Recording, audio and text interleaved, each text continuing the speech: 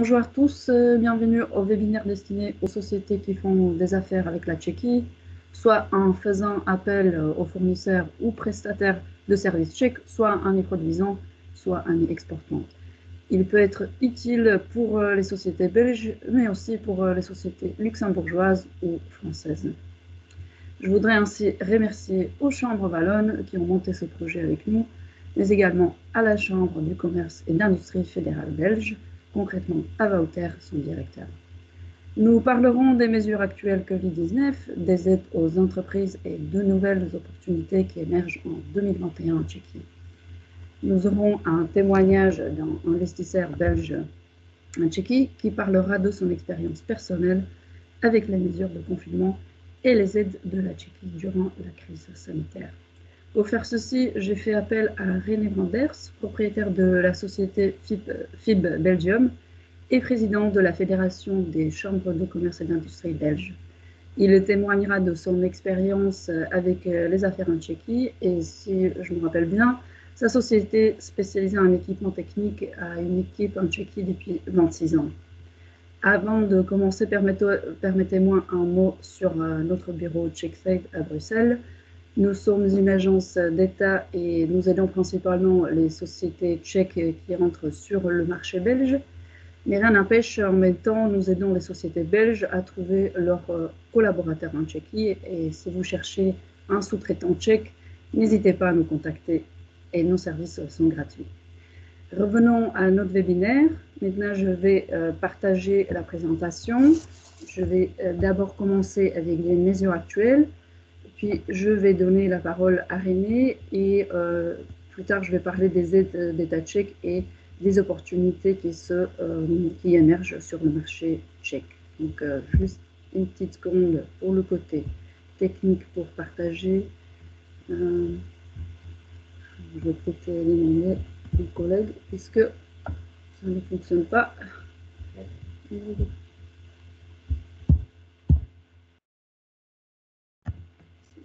Tu veux partager la présentation.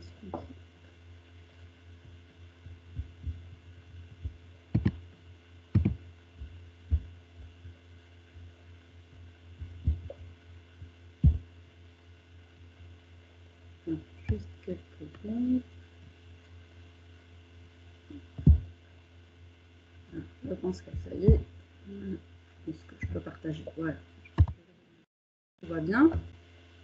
Voilà. Donc, euh, comme déjà, déjà présenté la structure de la présentation, donc les mesures actuelles, euh, donc tout de suite aux mesures actuelles. Donc, euh, en ce moment, la Tchéquie se, trouve, se trouve au, niveau d'alerte 5, qui est le plus élevé et qui va durer jusqu'au 22 janvier 2021.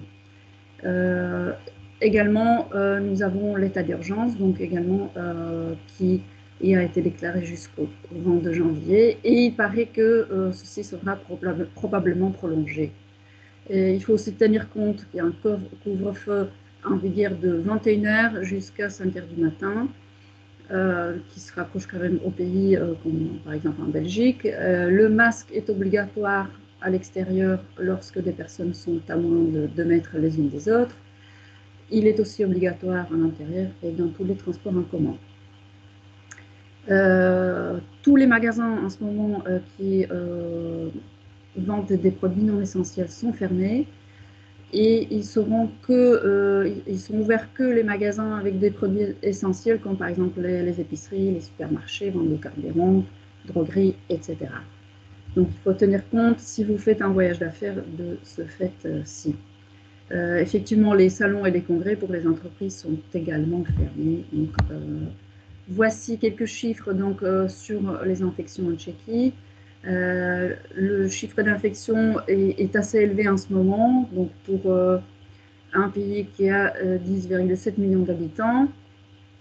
ça stagne un petit peu les derniers jours, donc ça fait déjà cinq jours qu'on a une faible baisse et euh, normalement, le niveau euh, le plus élevé pourrait baisser si 7 jours on, enregistre une faible baisse. Mais ce n'est pas automatique et euh, je, quand même je doute que le gouvernement, le gouvernement va baisser le niveau d'alerte.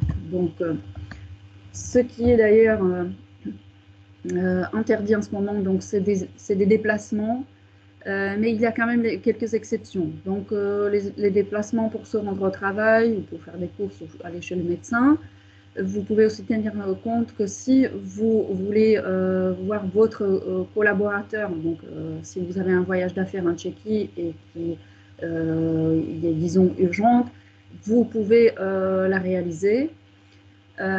tous les services d'hébergement et de restauration sont fermés, mais si effectivement vous êtes en voyage d'affaires, euh, il y a quelques hôtels qui sont ouverts. Donc, euh, je vous conseille d'appeler directement les hôtels. Donc, euh, par exemple, vous pouvez utiliser le booking.com, d'appeler l'hôtel directement, demander s'ils ont la capacité, s'ils sont, sont, ouverts en ce moment. Mais pour ce but, effectivement, les hôtels sont, sont ouverts. Donc, voici les mesures. Excusez-moi que ce n'est qu'en anglais. Euh, le gouvernement tchèque ne fournit pas la version française, mais je pense que déjà ça vous donne un résumé de, euh, mesures qui sont euh, en vigueur. Donc, la, Tchéquie a bien déterminé trois zones. Donc, ce qui est une bonne nouvelle, donc voici la carte, c'est que la Belgique est considérée comme le pays à faible risque d'infection. Donc, vous voyez la carte d'Europe, il n'y a que quelques pays qui sont en zone orange. Et euh, ceci euh, facilite en fait les voyages donc, de la Belgique vers la Tchéquie. Mais n'oubliez pas que euh, si vous rentrez de la Tchéquie, il faut remplir le formulaire, il faut se soumettre à la quarantaine et le test PCR si vous voyagez vers la Tchéquie, donc euh, si vous êtes en zone rouge, je vais quand même parler de la zone rouge parce que euh, on ne sait jamais, euh, la situation évolue d'un jour à l'autre.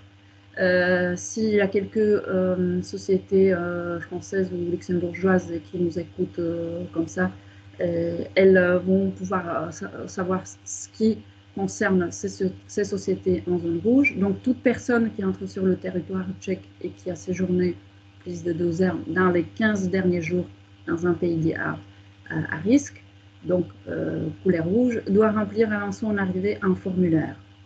Donc, la présentation euh, à fin du séminaire sera partagée et vous pouvez voir le lien et, cliquer dessus pour euh, accéder au formulaire.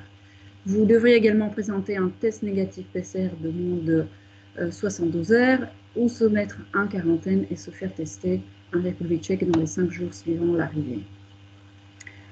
Sont dispensées donc des, formalités du formulaire d'arrivée euh, et tests PCR négatifs les transporteurs internationaux.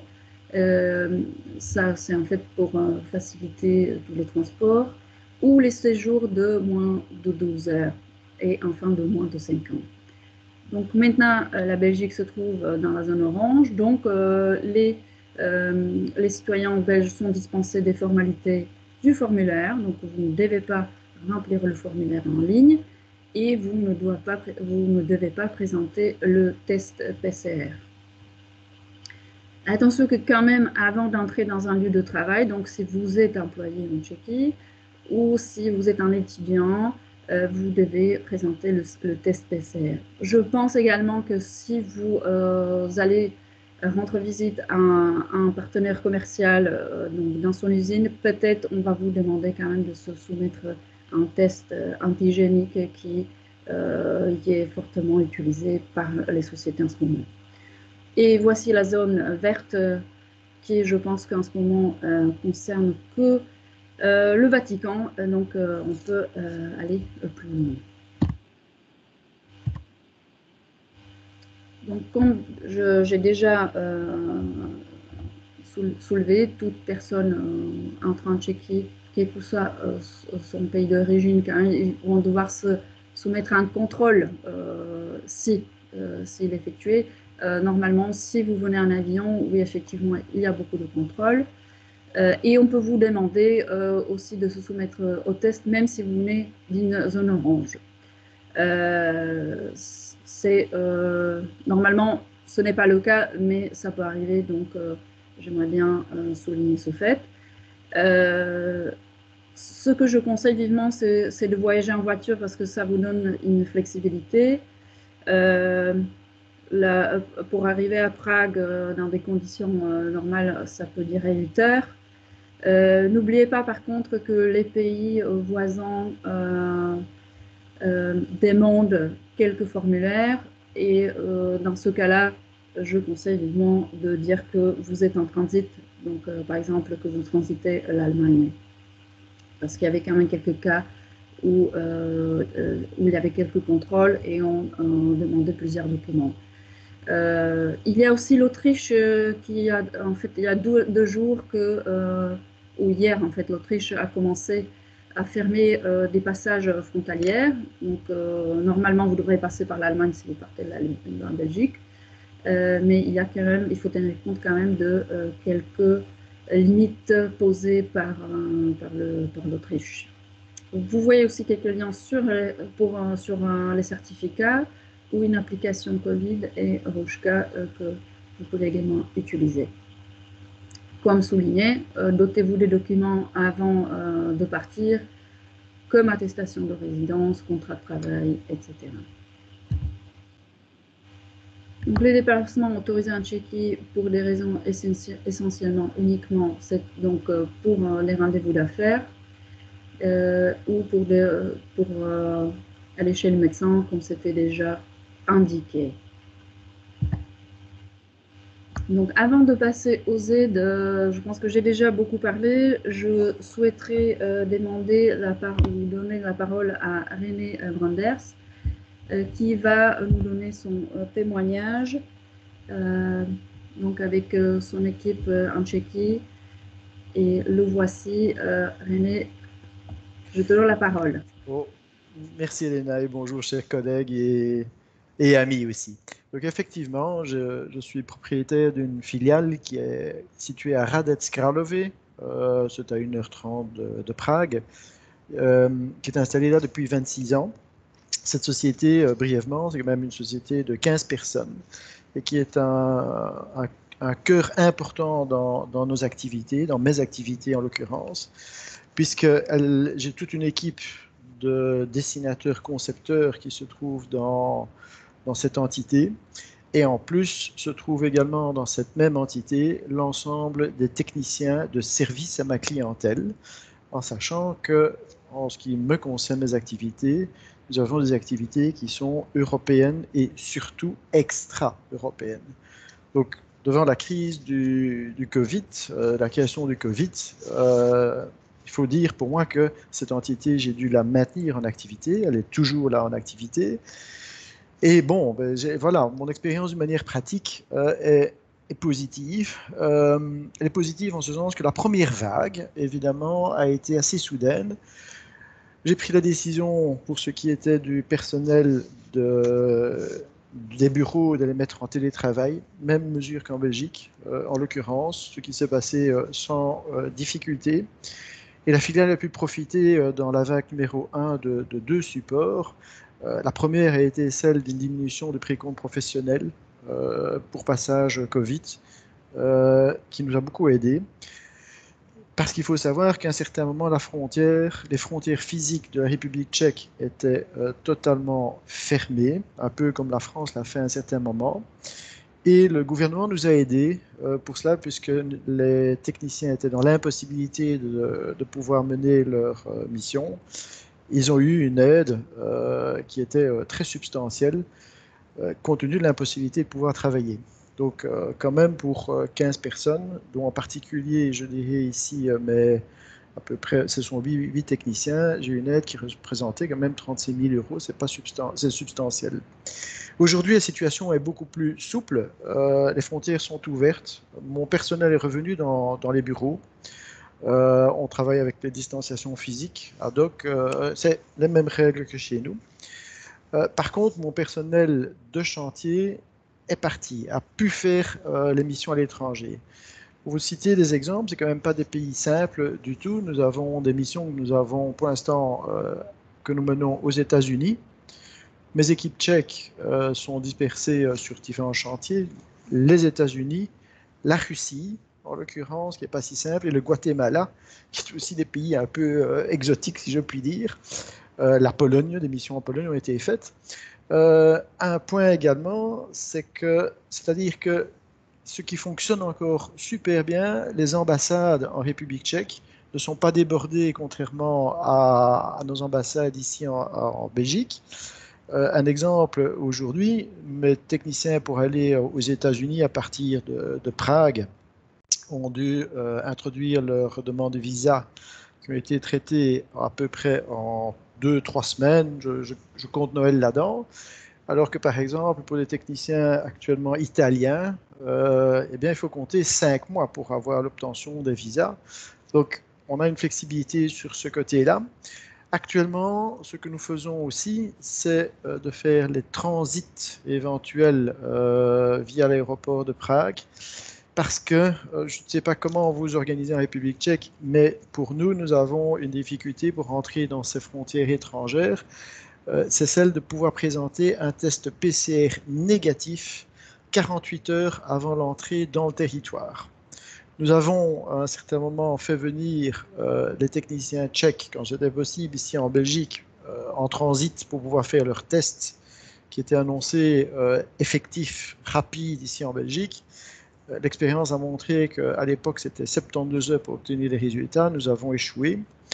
par contre, pour obtenir les tests en 48 heures en Tchéquie, c'est possible et vous les obtenez. À un tel point même que dans les gestions de, mon personnel, j'ai fait envoyer mon personnel allemand en République tchèque pour faire prendre leurs tests, obtenir leurs tests et à partir de la République tchèque, voyager à l'étranger. Euh, visiblement, il y a une adaptation des structures qui se mettent en place pour l'instant euh, en, République tchèque et qui sont, qui sont efficientes. La deuxième chose, euh, c'est également le, le, point de la sous-traitance. Donc cette filiale s'occupe également euh, de, sous-traitance pour FIB, en l'occurrence mon entreprise. On a à peu près un package de, je dirais, 20-25% de nos grands équipements, ces équipements eux-mêmes qui font 200 mètres de long, hein, ce pas des, des petits machins.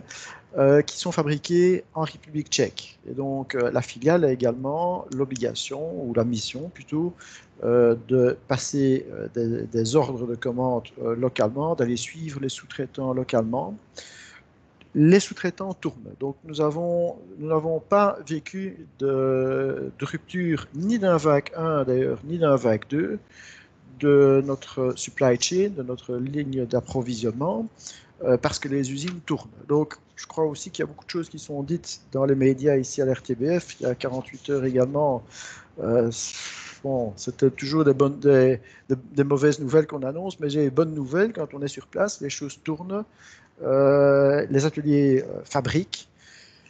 Les expéditions se font, c'est important pour nous pour obtenir des délais serrés qui partent sur des cargos bien fixés au niveau de la grande exportation. Voilà, tout ça fonctionne. Coup de fil encore hier, euh, Alena le, sait, donc j'ai pris le pouls encore sur place.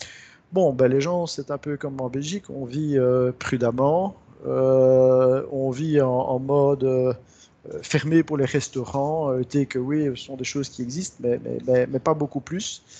Il n'y a pas de panique à avoir. Par contre, en matière de gestion, il est clair aussi que, bon, vous l'avez vu avec la présentation d'Elena, il y a des procédures à suivre. La Belgique euh, n'est pas, euh, est parfois bien plus stricte que, que la République tchèque. Je vous donne un exemple aujourd'hui. Euh, j'ai trois Allemands qui sont actuellement ici en Belgique en quarantaine pour 10 jours, puisqu'il y a l'Allemagne est un pays rouge ce que je n'ai pas obtenu, euh, comme, ce que j'ai jamais eu comme problème, si je puis dire, avec mes, techniciens tchèques qui étaient en, transit pour l'instant euh, en Belgique. Bon. En fait, voilà, euh, les potentialités restent là. La, République tchèque brille toujours par une, économie de tourisme qui est, qui est importante, mais qui est en souffrance, bien entendu.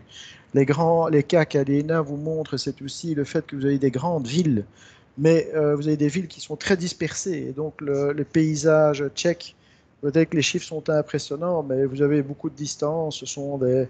C'est probablement Prague qui est plus concentré que d'autres villes. Mon personnel, parmi les 15 membres de mon personnel, personne n'a jamais été malade. Voilà. Pour ce qui est de la gestion, ben, nous essayons évidemment de maintenir les liens en évitant les, transits et les déplacements. Les Tchèques s'y adaptent très. Très vite. C'est une, une, mentalité d'ingénieur, vous le savez probablement vous-même.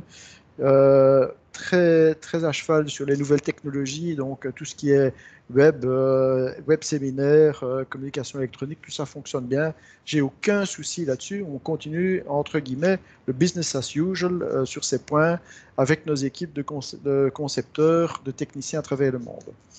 En matière d'adaptabilité aussi, le réseau web montre sa solidité. Sachez que j'ai procédé à des mises en service complètes. On travaille quand même avec du gaz, des choses très compliquées, sans aucune interruption des lignes web.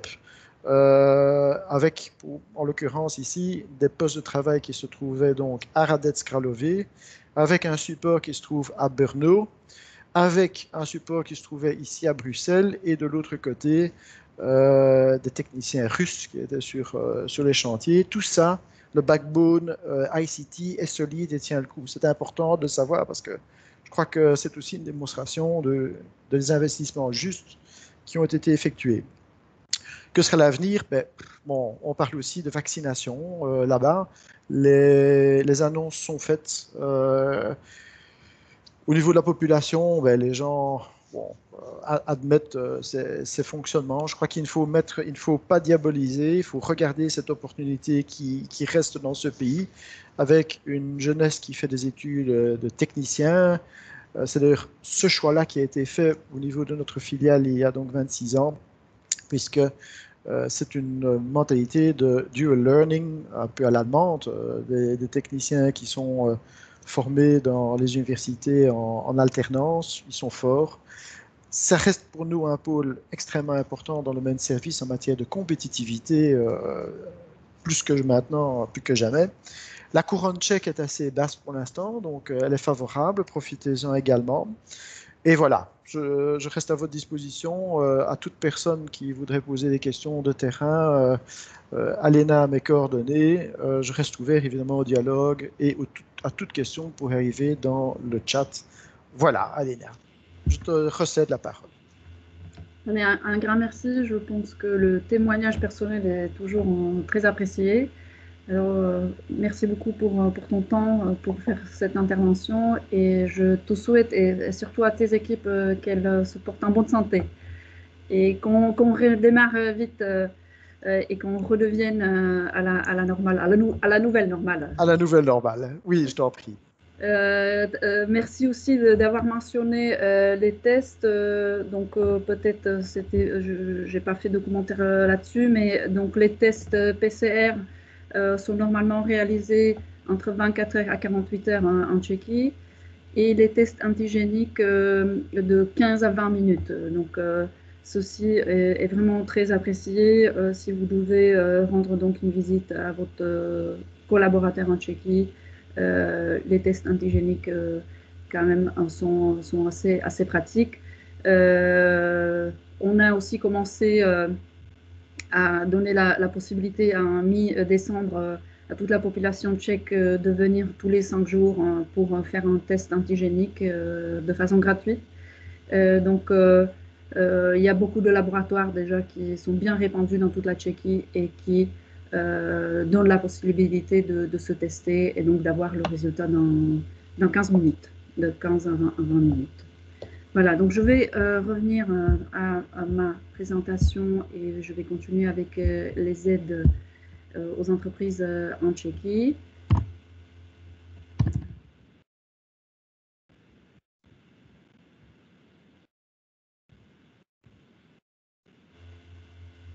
Euh, je vais quand même euh, vous donner une information assez brève. Euh, ça reste dans le PowerPoint, donc vous pouvez le regarder en détail plus tard.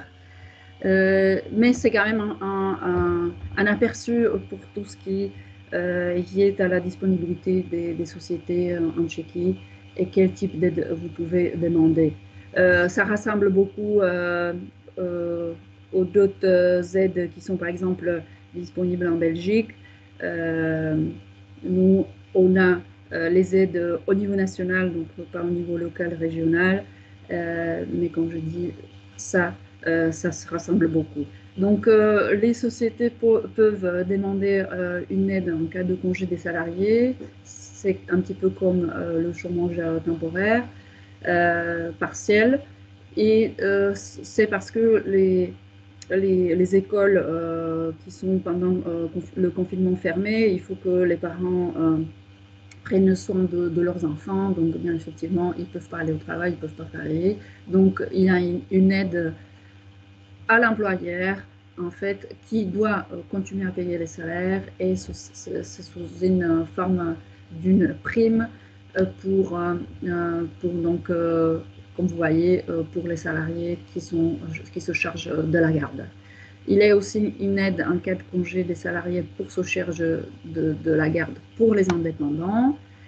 Euh, il y a également une prime de rémunération de 500 euros par jour pour les entrepreneurs qui ont une activité commerciale prédominante dans le secteur de l'économie directement ou même directement touchés par les mesures Covid. Il y a aussi des garanties financières de la Banque euh, de garantie et de développement tchéco-morave qui est destinée aux sociétés avec euh, maximum 500 employés. Il y a aussi une prime de 400 couronnes pour chaque employé et pour le jour pour lequel l'activité commerciale était limitée par les mesures gouvernementales. C'est pour le secteur euh, gastronomique, donc au RECA. le programme s'appelle Covid Gastro. Et il y a aussi contribution aux employeurs pour compenser les salaires versés aux employés en cas de restriction, comme quarantaine ou fonctionnement restreint. Donc il y a deux programmes dépendant de, du cas. Il y a le programme antivirus A et antivirus B. L'État a également supprimé la taxe d'acquisition immobilière euh, et offre aux sociétés des prêts sans garantie auprès des banques commerciales avec une garantie de la banque EGAP, qui est une, banque subventionnée par l'État. Il y a également euh, un ensemble de mesures pour soutenir les exportateurs. Euh, le, ministre des Finances euh, a aussi également introduit un report du paiement des cotisations des sécurités sociales et un report du paiement des taxes. Vous voyez, il y a aussi une subvention d'un montant de 50% du bail payé pour euh, mois juillet, août et septembre 2020. Euh, euh, ces, mesures vont être prolongées. C'est juste qu'il faut quand même attendre que ça soit adopté par le gouvernement. Mais les mesures qui ont été adoptées assez rapidement en mois de mars, donc pendant le premier confinement, ont dû être effectivement prolongées ou un petit peu adapté et on continue dans ce, régime qu'on prolonge et prolonge. Donc on va voir combien de temps euh, ça, va, durer. Euh, ça c'est pour euh, tout ce qui est les aides aux sociétés. Donc si vous avez effectivement une filière en Tchéquie, vous pouvez demander des types d'aides dépendant du cas dans lequel vous vous trouvez.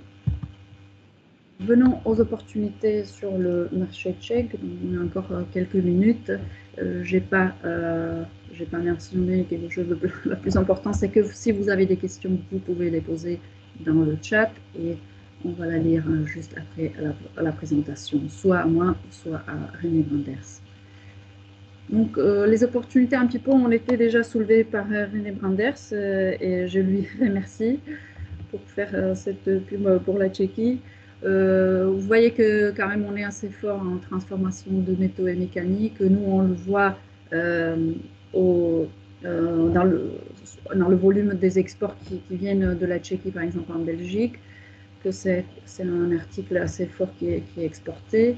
Comme vous voyez, il y a 46 000 entreprises qui sont actives en Tchéquie en ce moment. Le secteur automobile, oui, effectivement, assez fort et électronique. Donc, vous connaissez certainement la société Skoda qui, fait partie du, Volkswagen Group. Euh, si vous n'avez rien à faire ce week-end, je vous invite à aller euh, à Bruxelles, à Autoworld. Euh, il y a une exposition de Skoda, 125e anniversaire de Skoda, pour encore profiter des, musées ouverts. le secteur de, technologie, donc de TIC, est assez répandu aussi. Il y a 35 000 entreprises. nous voyons aussi beaucoup de, sociétés tchèques qui sont présentes de ce secteur sur le, sur le marché belge, qui sont des, administrateurs des systèmes informatiques des grandes, des grandes sociétés ici en Belgique. Donc, c'est aussi quelque chose qu'il faut tenir compte. Donc, si vous cherchez un collaborateur en Tchéquie, je vous invite vivement. Euh, les technologies vertes, oui, euh, je pense que ça c'est quand même un point fort hein, des Belges. Euh, on va devoir investir beaucoup plus dans les technologies vertes, donc suite au plan de, relance et suite effectivement aux, priorités de la Commission européenne. Et je pense que ça, pourrait être un article ou une technologie à exporter vers la, vers, Tchéquie. Et vu le boom de e-commerce avec le Covid, euh, les sociétés belges euh, peuvent en fait euh, vendre leurs produits en ligne jusqu'à la Tchéquie. Donc L'Internet ne connaît pas de frontières et je pense qu'avec le Covid, on s'est habitué à bien utiliser le e-commerce puisqu'on a dû être confiné. Donc je vais maintenant arrêter présentation qui va être partagée avec les participants. Vous voyez également les contacts euh, si vous cherchez des collaborateurs en Tchéquie ou les sous-traitants, vous pouvez nous contacter. Et je vais regarder dans le chat s'il y a euh, quelques questions. Pour l'instant, je euh, ne vois pas deux questions. Euh, je vais peut-être demander René s'il veut ajouter quelque chose que peut-être euh, qui n'a pas été mentionné Je, je, pense, Alena. Je pense parce qu'en fait, euh, la Tchéquie aussi, en matière académique, recherche et développement et compétences, est quand même un des pays qui a favorablement profité, je dirais, des, des fonds européens à un certain moment. Et donc, vous avez vraiment eu des investissements chez vous avec les dernières technologies euh, sur le marché, euh, des professeurs qui sont, des corps professoraux qui sont extrêmement jeunes, qui ont voyagé dans les campus euh, d'une manière internationale. Et donc, parfois, on cherche des technologies. bon, je ne dénigre absolument pas nos, nos connaissances technologiques, mais la République tchèque, par son focus même d'avoir des jeunes tourner sur des ICT, tourner sur la mécanique, euh, et, les constructions ou les matériaux font que dans les universités, il y a des compétences vraiment extrêmement spécifiques qu'on ne trouve pas nécessairement euh, chez nous.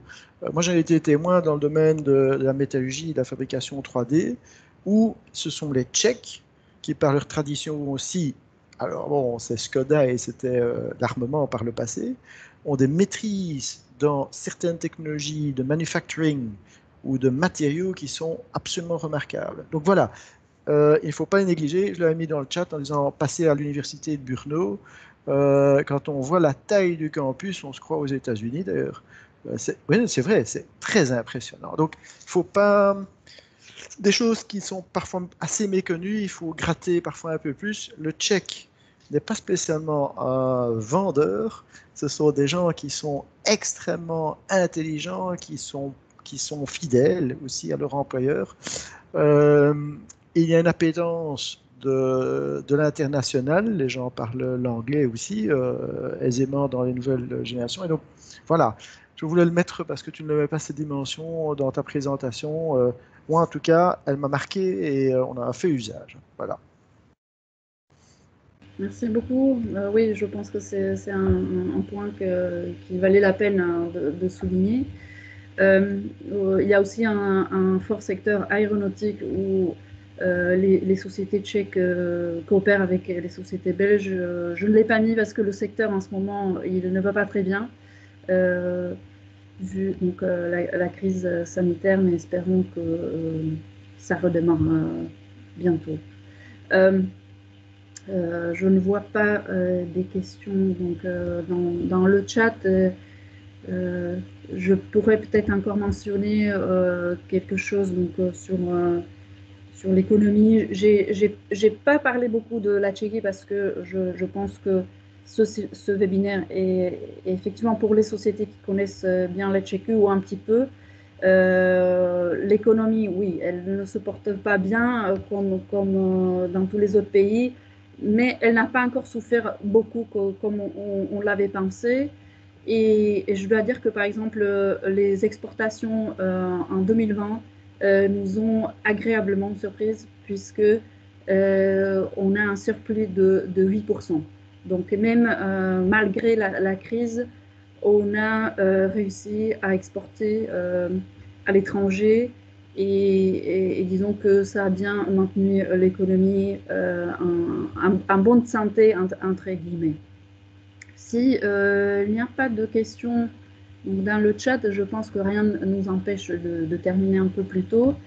Euh, dans ce cas-là, je voudrais remercier donc notre intervenant pour, pour, son temps et pour son témoignage, les chambres wallonnes pour la coopération sur ce webinaire, mais également euh, la Chambre de commerce luxembourgeoise et française euh, qui ont partagé notre invitation auprès de leurs entreprises.